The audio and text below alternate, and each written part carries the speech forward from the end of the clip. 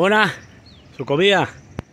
Alimentando a la mona de Siloé, que ya comienza a ir a buscar la comida. Siloé TV en YouTube, Siloé de YouTube. Con la mona de Siloé, que viene a alimentarse ya.